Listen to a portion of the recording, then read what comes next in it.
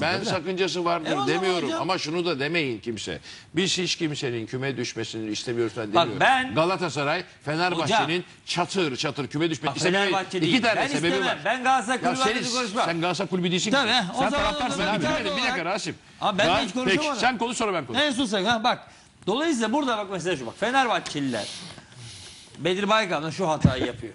Geçen aklıma bir şey geldi. Ne geldi Allah aşkına? Bir taklidi yapmışlar. Ha, neyse. Çocuk da güzel. Ben hiç Gör, konuşamadım. gördü, gördü, gördü. Şimdi bak. Burada Fenerbahçeliler Şimdi bugün de gülme krizi Çok sırası- komik geldi Göktürk birden kesin de böyle. bari Tamam. Bu gülme krizi Tamam, tamam, sırası devam, Göktürk'ta. devam edelim. Fenerbahçeliler yok ki benden izin mizin aldılar benim hoşuma gidiyor gayet sıkıntı yok. Fenerbahçeliler başka kulüplere düşmanlık üzerinden kendi kulüplerini savundukları vakit